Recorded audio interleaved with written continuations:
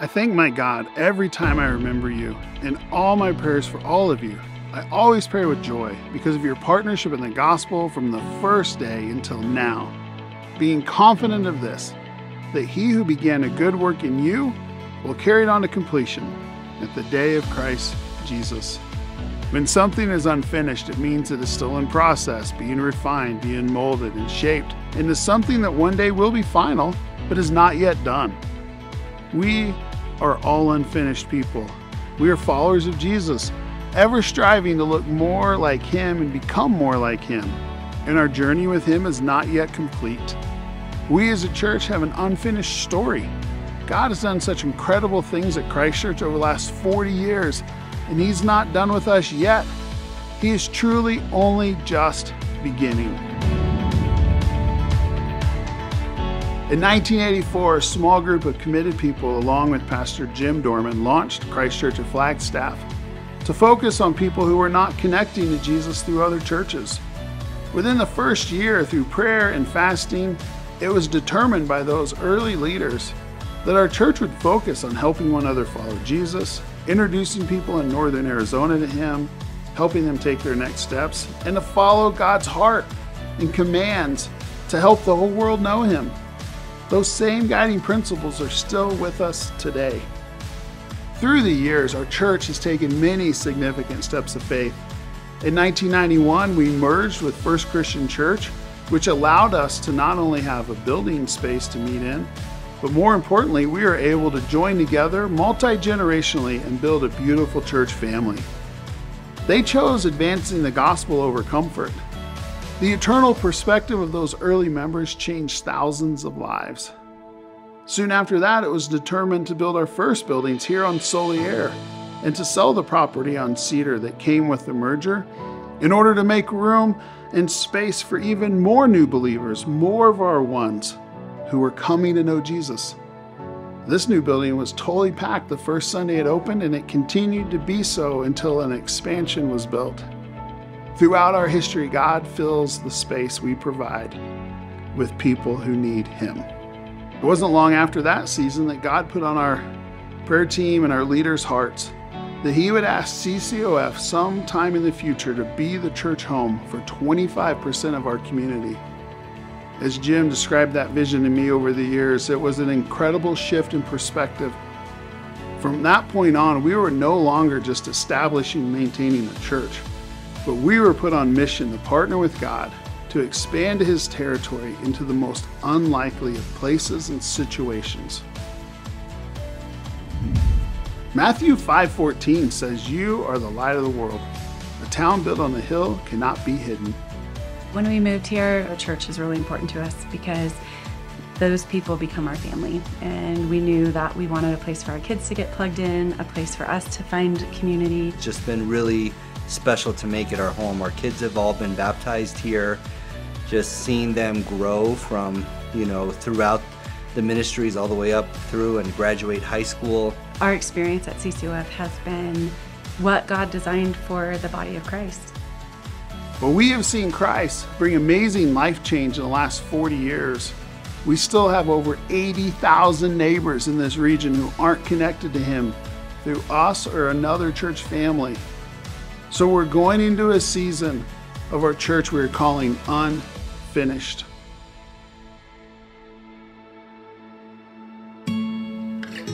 Unfinished, first and foremost, is a discipleship initiative. Our primary aim is that every person at Christ Church would engage with God and truly declare His church, His people, and His mission first in our lives. We desire to discover new things about how Jesus calls us to live and give and allow ourselves to be changed and challenged to respond. Our secondary goal is mission advancement, that God would continue on to completion the work He's doing in and through Christ Church. Our unfinished secondary goal has three components. First are our people. What we do day in and day out is often referred to as our general fund budget, but it's anything but general. Through Unfinished, we seek to expand our investment in our ongoing ministries and, and trust God to accelerate the transformation He is already doing among us. It's just the theme for all of us. I'm unfinished. You're unfinished. God has so much to do through us, with us, to us, as He's um, creating us to be more and more in His image. For this community to be changed, for people to feel loved and seen and heard, and to know about um, God and His love and His plan for their life. That is exciting to me. Second is our unfinished church. One of the most critical needs our church faces is more space to connect with our ones when they attend an event or a Sunday service. An additional investment through Unfinished will provide 6,000 square feet of new space to connect with each other and our ones. Imagine where I'm standing right now being a, a, a place for us to connect.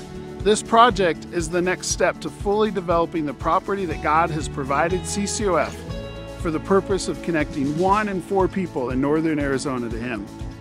I think the unfinished vision is so much about having a space where we can bring people that haven't been to church before. And I know that's so much of our mission, and that's what the Who is Your One is about, is who can we invite into this. And the space that we're talking about building is all about creating somewhere that's inviting to everybody and somewhere that feels inviting not just when you walk in, but also stay with us after, which I think is huge. Our third component of Unfinished is our unfinished mission. Since 1984, our church has sacrificed so that others could hear the good news of Jesus. And in 2019, we took a big risk and purchased this building adjacent to NAU, which now impacts hundreds of students every week during a season in life in which so many young adults stop following Him. And since 1986, we've partnered with Ibero American Ministries to take the good news to the Muslim world. An investment through Unfinished will allow us to pay off the corner property mortgage and fund special projects for our international partners' efforts for years to come. So join me in this season, church. Join me in embracing sacrificial, transformational generosity that declares that we are unfinished disciples of Jesus. Join me in moving God's mission forward through Christ Church. As we embark upon this next season as a church, let us truly declare that we are unfinished.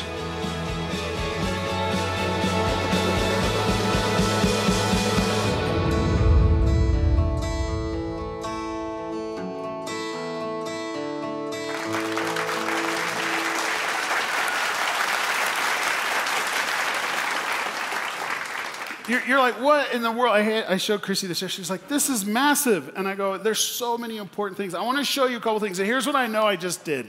And you might have done this, like you've been to a meeting at your work or your school or something, and somebody hands something to you and says, don't read this.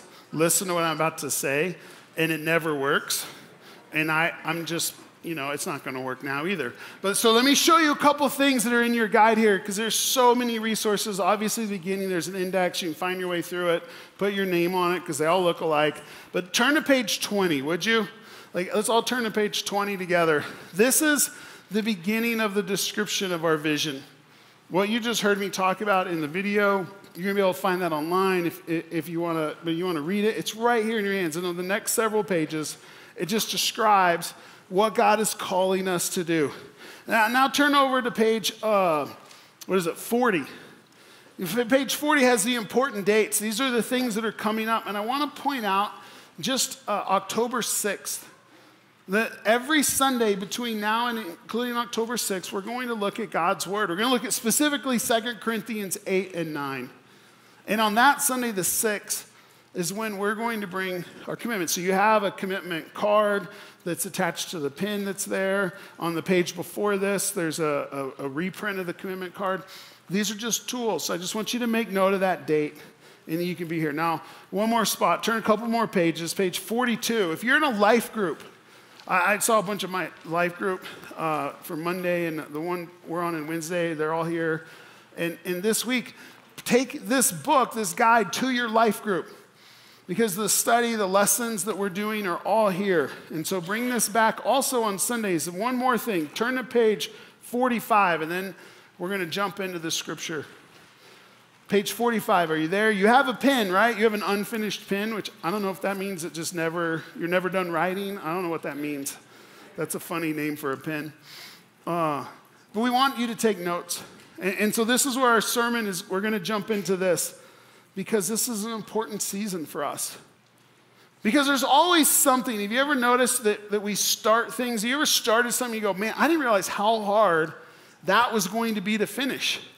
Maybe you started a project or maybe, you, you know, a diet or an exercise routine or a goal. I mean, I, I can't relate to any of those, but, right? Like, uh, a couple of years ago, two and a half years ago, we wanted, I wanted to do something cool with, with my daughter, and someone said, hey, do a project together. So I bought her, my, my wife and I bought her a, a ukulele kit for Christmas.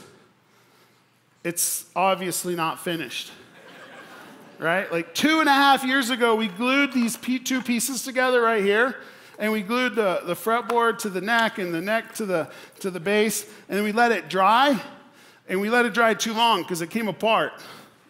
We didn't finish it. All the pieces are here the hardware, the strings, the instructions. There's even a little tiny screwdriver stuck in the box. Like, it's all here.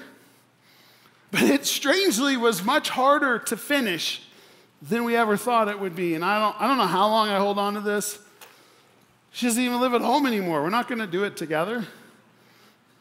That, but life's, it gets like that sometimes, isn't it? And that's why for the next five weeks, we're, we're going to take this title, we're going to take this idea, and we're going to look at God's word under this title of unfinished. Because you and I, we are all unfinished people. I, I, I think back to, I think of it this way. Do you, you have life insurance? Maybe you do, maybe, it doesn't matter, don't raise your hand. Just think about it. Like, I, uh, I found this policy status update that I get every, I got every year for a long time from State Farm because in 2002, I bought a life insurance policy because our family was growing and, you know, it's like, that's, you're supposed to do that especially when you have young kids. And, and so the way this worked, just in case you're unfamiliar with how life insurance works, I gave State Farm $48 a month every month, and they guaranteed that if I were to die in the 20 years this policy was in effect, that my wife or my kids would receive $300,000. That's, that's how insurance works, right? And maybe you, you have similar policies in place. And, and for me, that was great peace of mind that if something unexpected were to happen, everything would be covered. And, and, and I think for some of us, there's this tendency or there's this, there's this temptation to look at our relationship with Jesus a little bit like life insurance to ensure that if this heaven and hell thing is true, and, and many of us believe it is, and some of us are just like, well, I don't know, just in case. It sounds pretty bad if I'm wrong. Maybe I'll just buy a policy.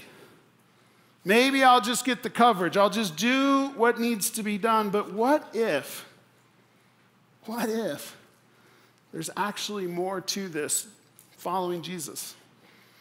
Being a Christian being a part of his family, his church. What if there was something more? You see, life insurance is intended to ensure something in the future. That's the point of it. My relationship with God, please hear me. It definitely ensures something in the future for all of eternity. I'm not saying anything other than that. But it also unlike life insurance, impacts today. It's not just about the future. Following Jesus is about my purpose. It allows us to grow and find peace. God puts us in His family. It impacts our relationships. And, and, for some of us, if we realize maybe it has been a little bit about the end, and we, we, we focus about the future, the eternity part, unfinished is our opportunity to experience Jesus in a real and new way, to experience Him today. Paul was a, was a persecutor of Christians. He, he was somebody who hated the idea of Jesus and Jesus' people, but then one day he met Jesus face to face. You can read the story in the New Testament, and, and he starts going to places and telling people about the Jesus he met. And then we find in the Bible letters that he wrote to those people and to those churches, and one of them he wrote to a group of people in the city of Philippi. People he had told about Jesus, people who bought the insurance policy. And he says, I thank my God every time I remember you. In all my prayers for all of you, I always pray with joy because of your partnership in the gospel, the good news of Jesus. That's what the gospel is from the first day until now. Uh, Paul's just saying, you have been following Jesus, you've been a part of this church, this family, this new covenant with God. And I'm so grateful. And then he says this in verse 6 being confident of this, that he who began a good work in you will carry it on to completion until the day of Christ Jesus. Paul says to these believers and to us through God's word, you're unfinished people. God didn't just call you and, and, and, and, give us this opportunity. There's something in us to finish. It's not just about tomorrow, it's about today. What is it He needs to finish in you, in me? Is it our worry and anxiety that life is just wearing us out? It's beating us down? Is it to grow in our faith, in our love of other people, in our ability to trust Him, our willingness to obey and follow Him? We are all unfinished people, every single one of us. You will never regret letting God who began his good work in you, carry it on to completion until the day of Jesus, until eternity begins for each of us. We're also friends, an unfinished church. During unfinished, this next six weeks, we're going to look simply at God's word. Second Corinthians chapters 8 and 9 is where I'm going to teach from from this point forward. And, and, and so you can read it, you can like see what's coming. Because this same apostle, Paul, uh, went to Corinth. He was there for 18 months. He established a church, a group of believers. And then he began to have letters written back and forth. They would ask questions, they had issues, he'd send them answers. And they're in, our, they're in our Bibles, and this is the second letter we have. Because these chapters are so relevant today to how God wants us, Christ Church of Flagstaff, I believe, to grow as a church family. The church in Corinth was being challenged to grow in their faith. Their dependence on God, He's challenged them directly in these words we're going to read in the Bible to grow in trusting God with their resources. In fact, He's so adamant that they grow, He challenges them first with the example of another group of churches to spur them on. He says this at the beginning of chapter 8. Now, brothers and sisters, we want you to know about the grace that God has given the Macedonian churches. Macedonia is just an area of the Roman Empire. Towns like Berea, Thessalonica, it, it, it, it's just a group, it would be like a state. He says, The grace that God has given the Macedonian churches in the midst of a severe trial. Look at these words, they don't actually work together. Their overwhelming joy and their extreme poverty welled up in rich generosity. I mean, just put those words together joy, poverty, generosity. Like, that doesn't even make sense to our minds. But that's the church that Paul says, look, these folks, they get it. And, and I want to take a second. He says about the grace God has given the Macedonian churches. Grace. When you hear that word, what do you think? It, it means the most literal translation is, is just like favor, definition. It's getting what I don't deserve. It's unmerited gift. It's somebody giving you something freely you can never earn, you can never purchase. Some of us think of grace and we just think of it similar to maybe salvation and like grace is just this description of the of the life insurance policy we have. And, that's not, I'm not saying that's wrong, it's just we got to open our minds to what what, what is God saying? How is Paul using this word? Because he's saying that the grace God had given the Macedonian churches allows them to have joy and generosity in the middle of extreme poverty. The churches in Macedonia had a horrible challenge in front of them. Their economic situation was bad. Compared to the time and the life in the church in Corinth, these are the two ends of the spectrum in the Roman Empire in the ancient world. Corinth was the place you wanted to live. Corinth was full of tourists every weekend showing up, spending their money. Well, I mean, sailors and people on trade routes. They weren't tourists, but they lived in a destination city. One of the top two or three places in the ancient world you would want to live in the Roman Empire was Corinth. Nobody grew up said, I want to move to Macedonia someday. That's like where all the backwoods people of the world lived in towns like Berea, Thessalonica. People were struggling, and not only that, just struggling in general the Christians were under intense persecution in, in those cities, in Thessalonica and in, in, the other areas. They, they still, in the midst of that, decided to participate in Paul's special offering for the believers in Jerusalem. What's happening is in Jerusalem, those who are following Jesus are, are having a hard time even having food to eat, clothes to wear. They're in such poverty. They're, they're losing their jobs, their families. Persecution is intense in Jerusalem. So, Paul is going to all the churches in what is today Greece and Turkey to gather money to go back to Jerusalem, give it to the leaders of the church there to help those in need. In the church in Macedonia, he says they're participating. In, the late 1990s, I was a youth pastor at a church in Tucson, and and we were connected to some ministry work in the city of Kherson, Ukraine. And I got to go to Kherson uh, several different times in that, in that season. And I was incredibly blown away by the stories and the conversations as I got to know believers and people and hear firsthand from those who'd been following Jesus during the Soviet regime in that city, then during a time of, of persecution, a time of lacking freedoms. And, and, and, during the very first visit I had, I stood in a, in a church building that was just a few years old. It was, it was so new. Because it was built very soon after the breakup of the Soviet Union, and the religious freedom had come to the people of Ukraine. And as I stood in that building, I got to talk to believers who, who sold the gold fillings in their teeth, their families' jewelry, their, their, any possession they had of value.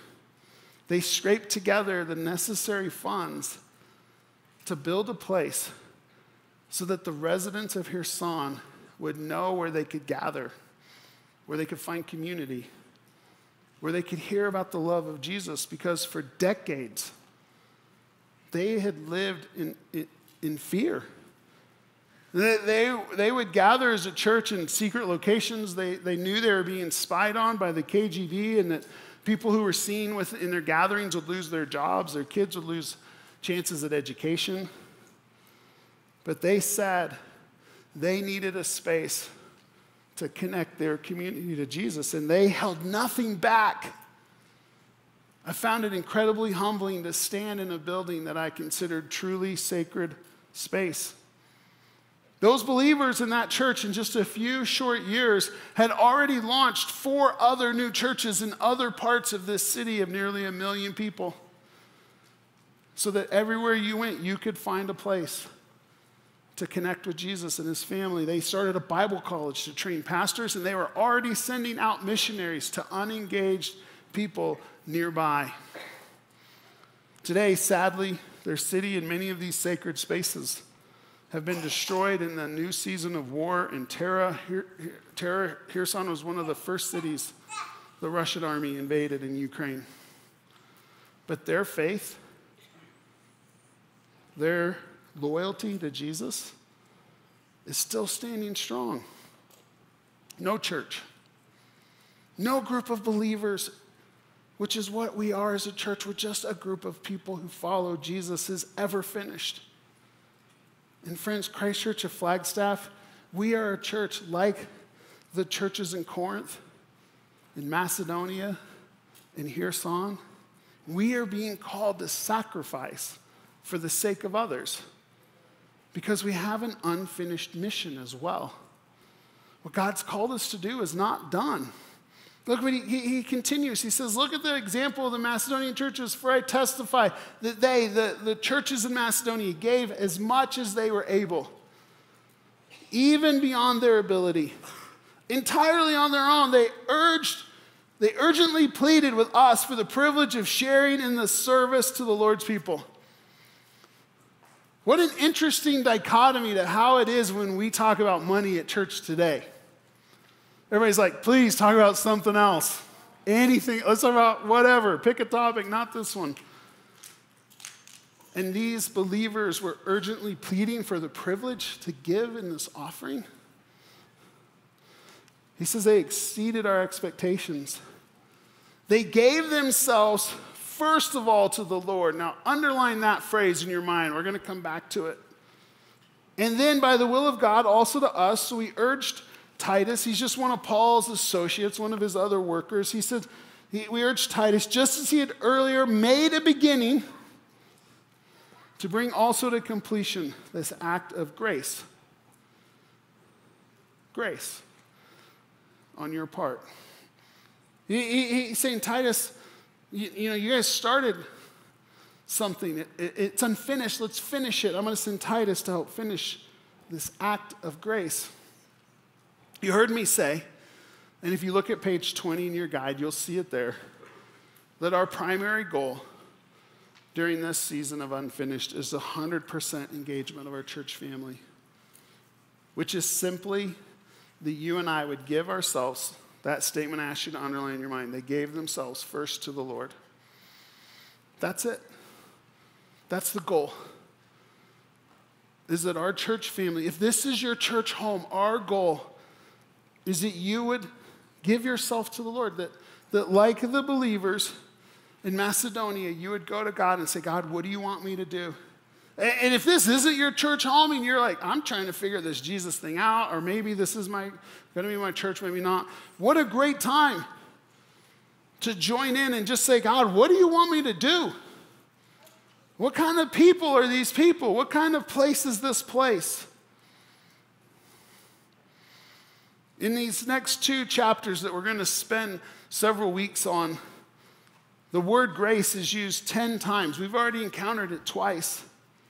It's translated in our English Bibles a couple different ways just based on context. But this, this teaching Paul has for the Corinth believers and for us is a teaching about grace.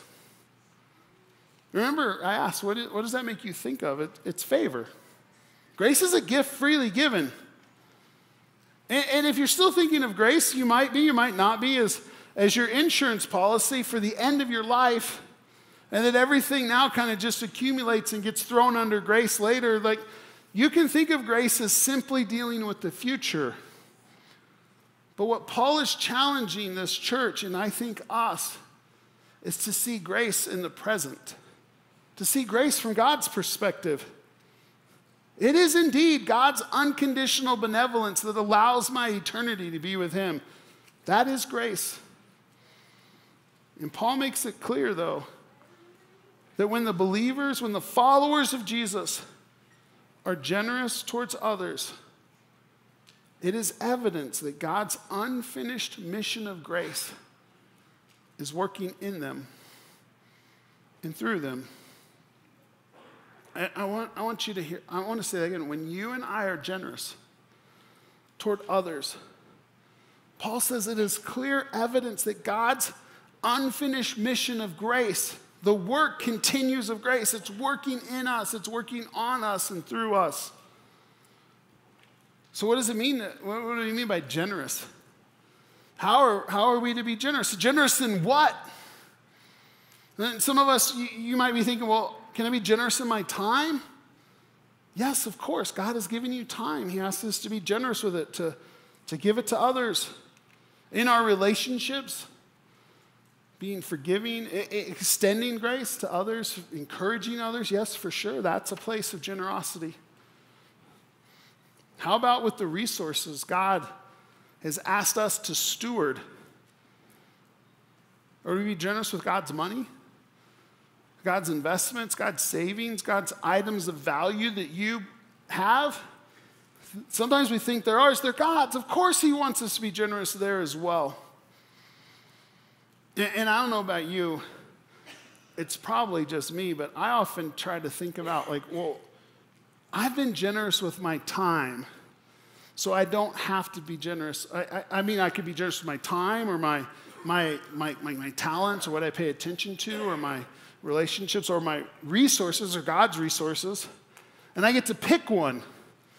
And, and maybe I'll be generous with my, I'll give money to something I don't want to spend time on. That's sometimes easier, right? Or I'll, I'll volunteer, but I don't have to give because I volunteered, Chris. I've been, how do you think of it? That's how I think of it sometimes. Well, when you look at God's word and you look at scripture, that's not how he lays it out. We're instructed to be generous with everything. We get to pick and choose, and one doesn't get us off the hook of the other. It, it, it's part of what we have to come to, to realize. And what, and what I want us to focus on in, in this first next step is to realize grace is the true source and inspiration of generosity.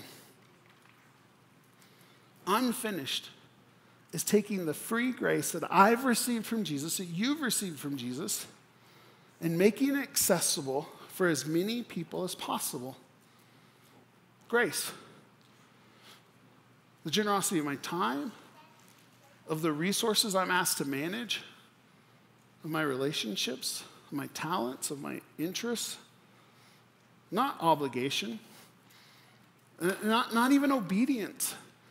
Uh, I mean, obedience in these areas is, is great. I'm not saying disobedience is better, but, but, but using grace, understanding that God's freely given favor to you, His extension of what you don't deserve and saying, How do I freely give what others don't deserve?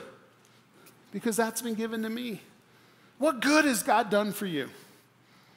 What good is being connected to God done in your life? Can you, can you articulate it? Can you think about it? What good has God done in your life?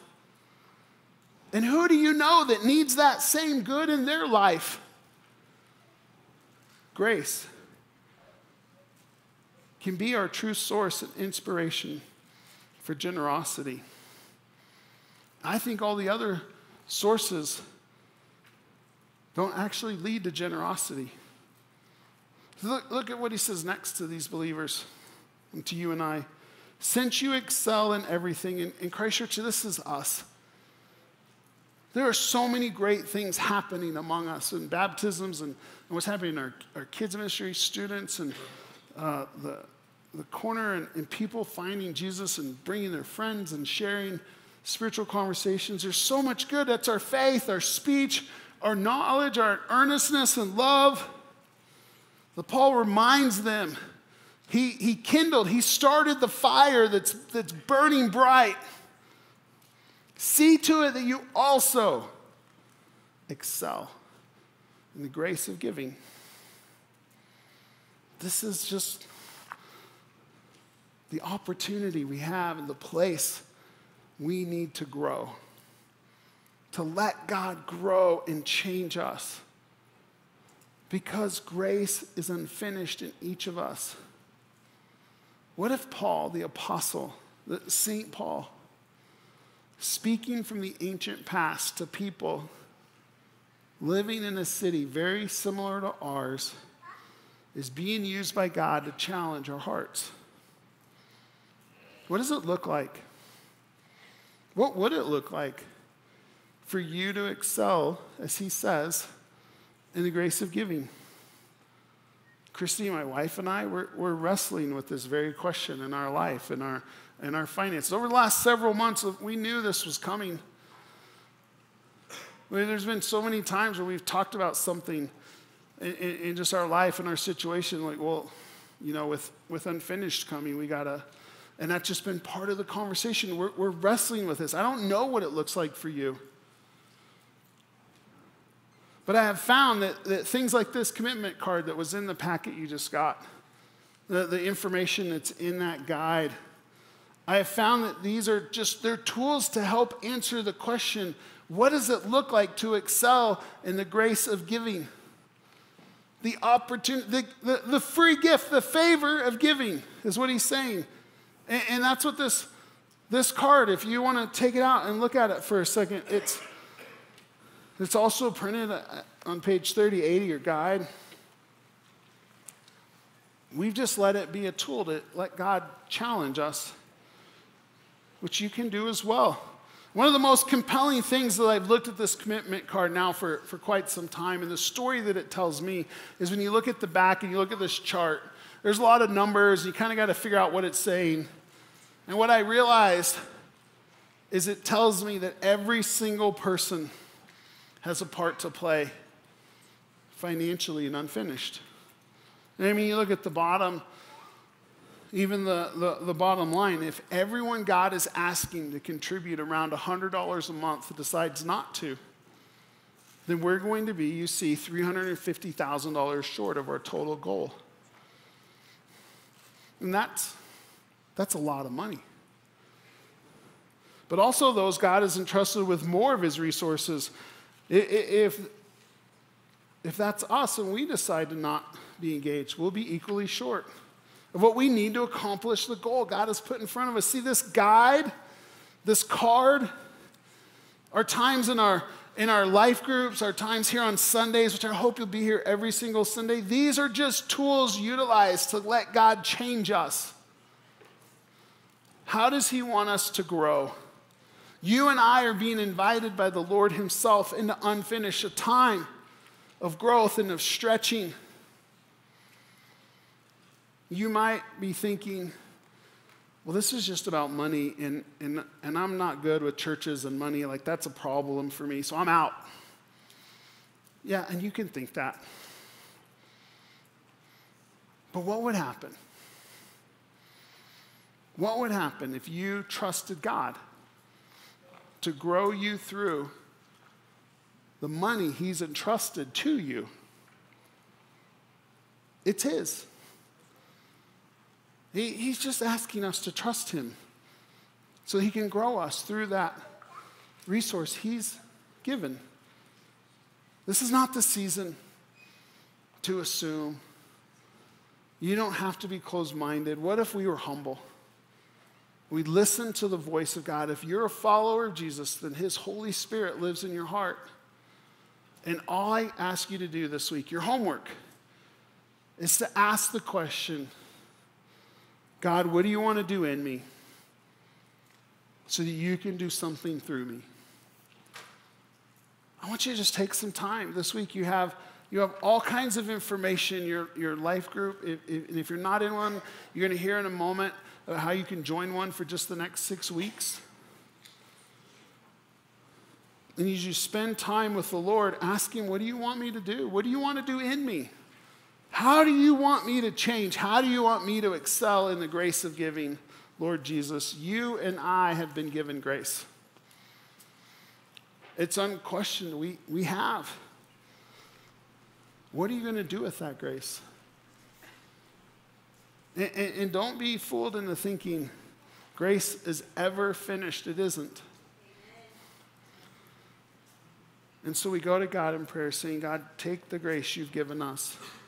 Change us how you want so that we can share it with others. Pray with me, God. We thank you that what we cannot earn or what we cannot pay back has been freely given.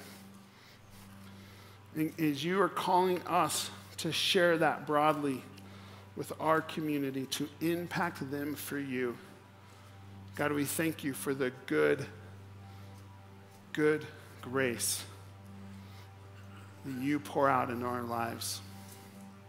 Help us continue pouring it out to those around us who need you, Jesus. Wow, we're really kicking off Unfinished with a bang. We're so glad that you all are here this morning with us as we start this. If you are new, we have a spot in the lobby that says New Start here. We'd love for you to stop by there and let us know who you are, how you found us, and let us know. Um, yeah, just your experience this morning. We have some awesome volunteers there to talk to you. Also, as always, the best place to know what's going on in our church is on the app. There's a lot of really good stuff in here, but there's even more stuff on the app. So if you want to stay up to date on all the events going on, the app is the place. As Chris said several times, we are doing a life group study that is in this book. And if you are not in a life group but would like to join one um, just for the course of the study so that you can engage with other people around this topic and conversation, go ahead and. Um, uh, do either one of these uh, QR codes actually, and then follow the prompts, and that will connect you with us and we'll get you plugged into a life group this week so you can walk through this study with other people, really engage with this content together. So I'll give you a second if you need to just go ahead and QR that sucker. Also, you can just do the same thing on the app as always. There's a website for Unfinished. So if you, um, we're going to ask you to bring this book every single week to church. Um, so there's study notes and stuff, and we'll be referring to it, but also to your life group. The life group study is in it. If you lose it, Good news is, on this unfinished website, you can download a digital copy. So that is a lot harder to lose, at least for me. So keep a hold of this one, but also there's a website with all this information and there's a digital copy of this book right on it, along with a whole bunch of other stuff. So that's a good resource for you guys. We've been talking about this prayer walk for a few weeks now. It is coming up on Saturday. And in, again, guys, this book, it's got everything. In this book, on page 62, you will see information about the neighborhood prayer walk. And um, we're asking everybody to just on this Saturday, whenever you want to, walk around your neighborhood and pray. The goal is that we cover our community in prayer because the whole goal of Unfinished is to make space to connect more people with Jesus. And part of how we do that is through prayer. So we're going to ask you sometime on Saturday if you want to get together with other people from our church, if you want to do it yourself, whatever works for you, walk around your neighborhood where you live. Pray for your neighbors, pray for your community.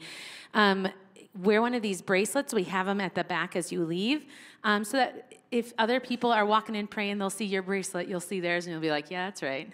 That's the goal of this bracelet. So grab one of these, walk around the neighborhood, pray on Saturday. We'll be asking for some stories of how that went for you, so look out for that. Um, on the other page, on this same page 62, look at that, page 63, there's a fasting guide. We are asking everybody in the church um, to consider fasting with us on September 24th, which is again on this sheet in your guide. It's all in there. And if you do, um, we would invite you to break the fast with us at the advance commitment night. So, September 24th, 6 to 8, you don't have to fast to come. We're just inviting everybody to do that with us. But we're having a night you're going to want to be ready to lead out with your commitment through this unfinished season. So, come on September 24th, 6 to 8 p.m. There's going to be just good time of worship, connection with each other, connection with God. Make space. Um, to hear from God and respond with a commitment. And also, we will be breaking the fast together. So if you fasted, if you didn't, come for the commitment, stay for the food. It's going to be a good time to connect with each other. Put that on your calendar. Again, it's also in your book, along with a fasting guide of how to fast together. Last thing in the lobby, as you walked in today, you probably saw a bunch of t shirts in boxes. You can get one of these t shirts for free for yourself today as you walk out at the Unfinished Hub. The area where the t shirts are is um, our Unfinished Hub. There's lots of good. Um, uh, there's t-shirts there's bracelets there's stickers but there's also people to answer any questions you have to keep engaging with this unfinished thing there, it's, a, it's the hub to find out everything that you want to know about Unfinished as well. You guys, these t shirts are really soft. You're going you're going to want one. Um, they're all there. So please stop, grab a t shirt, connect with somebody. That hub is going to be staffed for the next five weeks. So any questions that you have, head there. There's going to be pictures, there are pictures on the wall of the renderings. It's got a You Are Here sticker, which is really helpful for me to know where I am in the picture of what we're building. So that's all right there. Please stop by. Okay. So the last thing we are going to do every week we have a question so that we can just engage with each other, get to know people that we didn't come with. So I'm going to have you stand up right now and turn around to somebody you did not come with, and this is very important. What are you more excited about, pumpkin spice or football? There is one correct answer. Go.